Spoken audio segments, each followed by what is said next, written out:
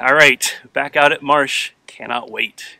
So I am still on the 909s with the uh, Danny Beer Intuition liners. Last week was my first try on these liners, but obviously, uh, if you saw the video last week, it wasn't really a good test of how the liners feel. It was raining, and it was just wet, and it was just a horrible session. Uh, and then I hurt my back, so um, I want to give them a really good test. I'm going to be re-reviewing my 909s if you saw my 909 review, you know that I love these skates, but I had some issues with the Intuition liners as they came. They were just a little small for me. I don't know that the liners were bad, but they weren't right for me. They were the wrong size. So uh, them reached out and said, hey, we've got these liners that we're testing. We're going to be coming out with them in November, and we wanted to send you a set to see if they fit your feet and I've tested them a couple times now and they do fit my feet so I'm really excited to get a feeling of what riding an intuition feels like that actually fits. So my three goals for today. I'm still kind of nursing this messed up back. You know, I hurt my back last week, so I'm going to take it pretty easy today. Uh, but I am excited to be at Marsh. This is my favorite ledge, and I really want to give these skates a good test to see what they feel like in normal situations, not raining, not a cramped park like Durham. There's not a lot of people here. It's nice and dry. So I'm gonna try to do every trick that I can think of on this ledge and really give them a good test.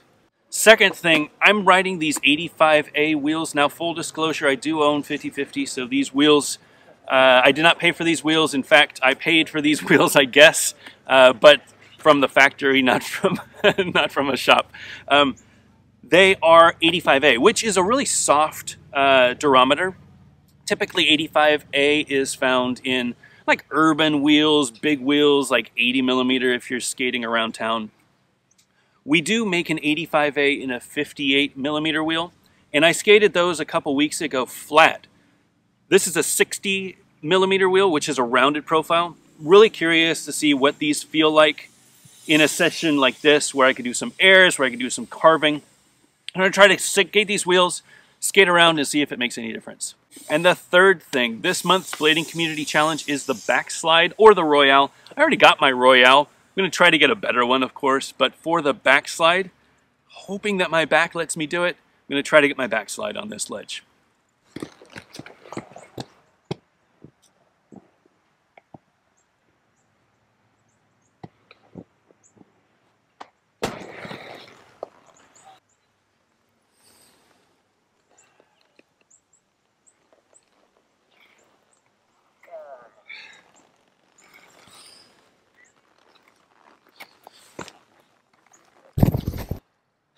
Well, shooting pain, bottom, lower back.